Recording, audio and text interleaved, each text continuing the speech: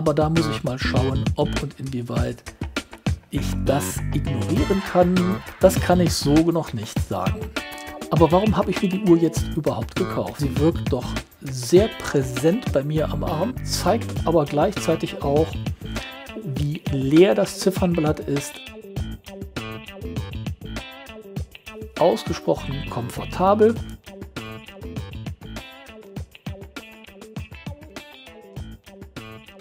Hallo und willkommen bei WatchMaxes Uhrenvideos. Mein Name ist Axel und ich freue mich, dass du wieder reingeklickt hast. Heute geht es um eine Uhr, mit der ich, als die Serie bei Sinn neu vorgestellt wurde, etwas gefremdelt habe. Es handelt sich um die Serie 105. Am Arm habe ich und mir gekauft habe ich die Sinn 105 ST SA UTC mit dem weißen Blatt. Als die Serie neu rauskam, war ich nicht komplett überzeugt. Die Serie war mir zu modern, zu wenig klassisch Sinn, zu rund, zu glatt ich konnte damit nicht so richtig viel anfangen, aber das hat sich im Laufe der Zeit etwas gelegt, bis zu dem Zeitpunkt, wo ich doch gerne eine haben wollte. Wie es dazu gekommen ist, was mich bewogen hat, genau diese und keine andere zu kaufen, das zeige ich euch in diesem Video. Am Ende des Videos zeige ich euch noch die anderen Varianten, die es aus der Serie gibt. Es gibt nämlich insgesamt vier Uhren, zwei schwarze, zwei weiße, zwei mit UTC und zwei mit einer etwas anderen, besonderen, ungewöhnlichen Datumsanordnung für Tag und Datum. Das Ganze zeige ich euch am Ende des Videos. Jetzt zeige ich euch erstmal meine Uhr, was mir aufgefallen ist und was die technischen Daten sind. Den Bericht eine Woche am Arm, der kommt etwas zeitversetzt in 14 Tagen, drei Wochen ungefähr. Und da werde ich euch dann sagen, was mir im Alltag beim Dauertragen über eine ganze Woche aufgefallen ist, was man beim ersten Review vielleicht so nicht direkt sieht, erfährt oder spürt. Die SIN 105 STSA UTC-W habe ich hier auf dem Tisch liegen. Ich habe aktuell montiert kein Originalband, sondern es ist ein Band von Barton. Barton habe ich in einem anderen Video schon mal vorgestellt. Hier sind die Silikonbänder von Barton. Wenn es euch interessiert, schaut euch das andere Video an. Hier habe ich aktuell ein schwarz-orangenes montiert. Die Uhr habe ich gekauft mit Stahlband und dem Original Sinn Silikon. Aktuell gefällt sie mir aber so wie hier gezeigt am besten.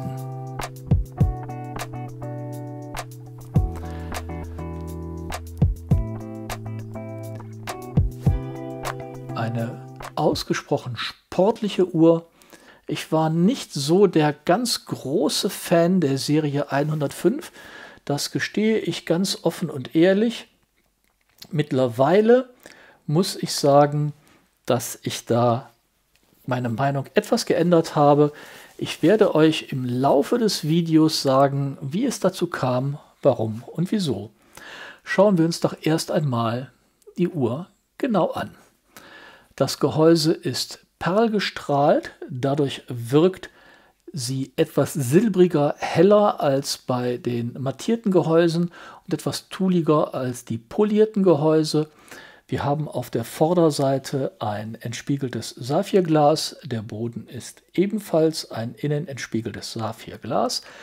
Der Boden ist verschraubt, die Krone ist verschraubbar mit Kronenschutz versehen und die Uhr ist bis 20 bar druckfest, was einer Wasserdichtigkeit von ungefähr 200 Meter entspricht.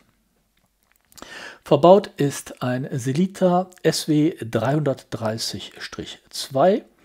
Die Uhr hat einen Durchmesser von 41 mm, eine Bandanstoßbreite von 20 mm und eine Höhe von 11,9 mm.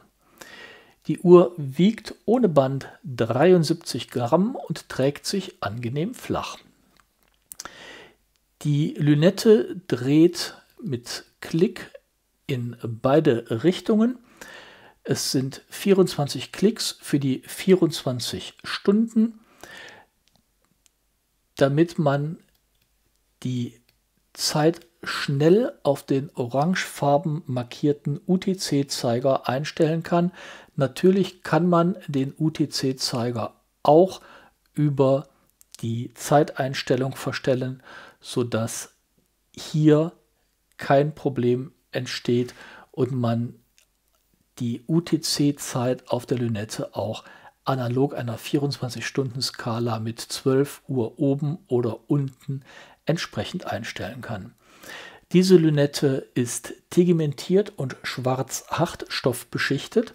Das Gehäuse selber ist nicht tegmentiert.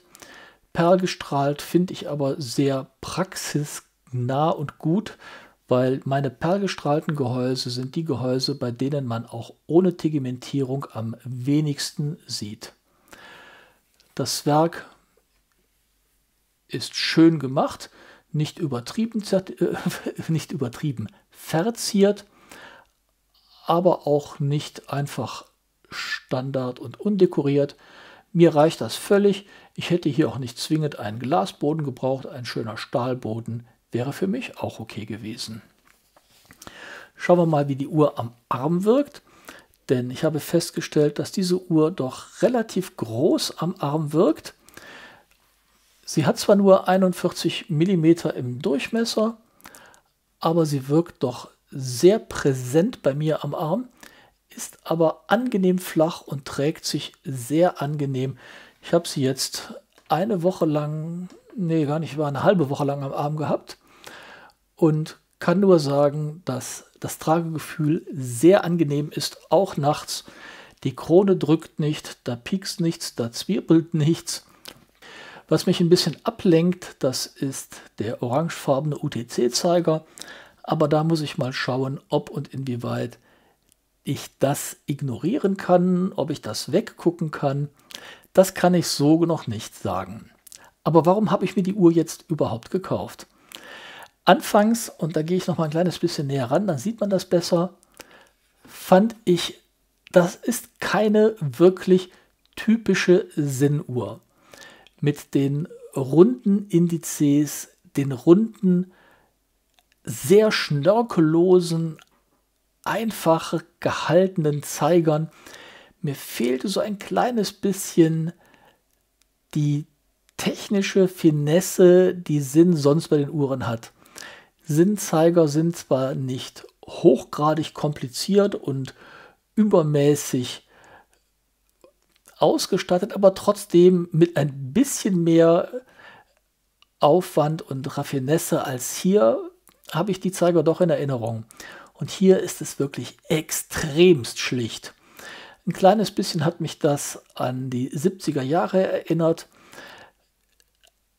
da konnte ich mich lange nicht wirklich richtig mit anfreunden. Ich sage das ganz ehrlich, das hat mich angezogen und abgeschreckt gleichermaßen. Mittlerweile muss ich sagen, ich finde das sehr gut, weil das für mich eine Art Brücke bildet zwischen den klassischen Genen von Sinn und der Zukunft von Sinn, wo es ein bisschen moderner, frischer, aufgeräumter wird. Ich finde das gut, dass das nicht brachial erfolgt. Ich finde es klasse, dass das in graduellen Schritten erfolgt. Und für mich ist das ein solch gradueller Schritt, dass die Uhr eben modernisiert wird, ein bisschen frischer ist, ohne dass man direkt alles über den Haufen wirft, was Sinn ausmacht.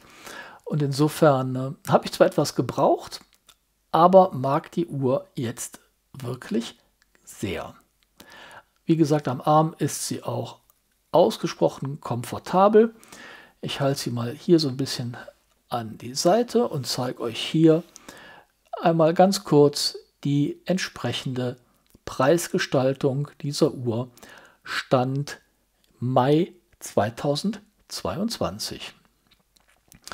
Ebenfalls hier auf der Seite blende ich euch jetzt noch die anderen Varianten der Uhr ein. Es gibt insgesamt vier Varianten dieser Uhr, zwei schwarze und zwei weiße, jeweils mit der UTC-Zeitanzeige, wie ihr es hier sehen könnt, und nur der Datumsindikation auf 6 Uhr und dann ohne UTC mit Tagdatum übereinander angeordnet auf 6 Uhr. Auch eine sehr außergewöhnliche Zeitanzeige.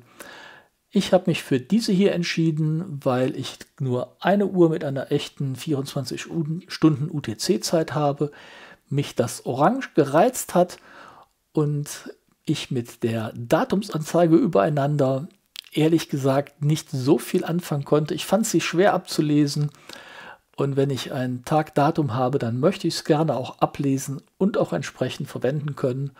Und das fand ich bei der übereinander angeordneten Variante der Tagdatumsanzeige nicht so gelungen. Ich würde euch gerne noch die Zeigerstellung zeigen. Dafür werde ich die Zeiger auf 24 Uhr setzen, damit man auch den UTC-Zeiger in der gleichen Position hat. Und dann schauen wir einmal, wie die Zeiger gesetzt sind.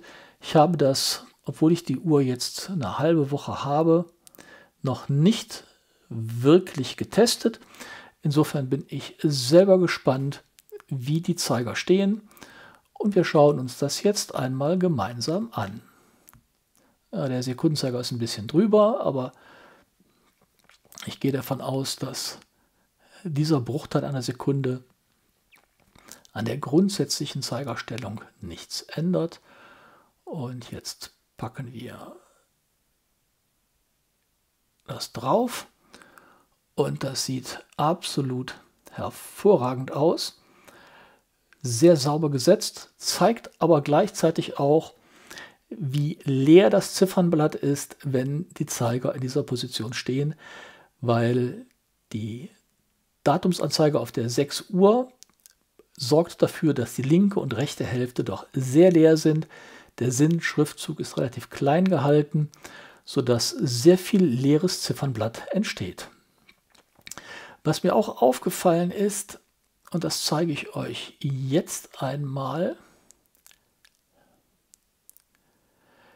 der Minuten- und der Stundenzeiger sind fast gleich breit, sodass der Stundenzeiger nahezu vollständig hinter dem Minutenzeiger verschwindet und das dann mit Hilfe oder zusammen mit dem UTC-Zeiger zu einer sehr verwirrenden Zeitablesung führen kann. Ein paar Minuten später ist es schon nicht mehr kritisch, aber in dem Moment, wenn sich die Zeiger überlappen, ist es, finde ich zumindest, doch arg verwirrend. Was ich sehr schön finde, ist die Tatsache, dass der UTC-Zeiger nicht leuchtet und das zeige ich euch jetzt nochmal im Nightshot. So, noch kurz die Uhr aktivieren. Einmal richtig mit der Taschenlampe drauf, damit es auch gut zu sehen ist. Und ihr könnt sehen, die Uhr leuchtet richtig klasse, leuchtet auch lange, die ganze Nacht durch. Hier unten an dem Horn könnt ihr sehen, ich habe meine blaue Hintergrundbeleuchtung noch teilweise an, aber insgesamt wirklich tolles Nachtbild, extrem gut ablesbar und auch die ganze Nacht sehr lange ablesbar. Ich meine, es ist BGW 9. Es ist bei Sinn nicht beschrieben, was es ist. Insofern äh, müsst ihr euch da auf meine Farbeinschätzung verlassen. Alles in allem gut, deutlich, lange ablesbar, obwohl die Minutenindizes relativ schmal sind, weil sie eben noch die schwarze Umrandung mit abdecken müssen. Aber alles in allem funktioniert das sehr gut und ist wirklich lange, problemlos und angenehm ablesbar. Ich zeige euch noch mal kurz die Indizes. Ihr seht, die sind normal groß, haben aber den schwarzen Rand, um einen Kontrast zum weißen Blatt zu bieten. Bei den schwarzen Uhren sind sowohl die Zeiger als auch die Indizes komplett mit Leuchtmasse befüllt und dadurch entsprechend auch etwas größer im Nachtbild als bei der weißen Variante. Die Varianten der Uhr blende ich euch hier auf der Seite ein. Hier könnt ihr die irgendwo sehen. Und die Preise stand heute, das heißt Mai 2022, blende ich euch ebenfalls ein. Alles in allem eine Uhr, die mir sehr viel Freude macht, die eine ungewöhnliche Uhr ist und die für mich und mein Ableseverhalten auch etwas ungewöhnlich abzulesen ist. Schreibt mir doch gerne in die Kommentare rein, was ihr von der Serie 105 haltet und welche Variante der vier gezeigten euch am besten gefällt. Bis dahin bleibt gesund, erfreut euch an euren Uhren und freut euch auf meine nächsten Videos. Ciao, euer Axel.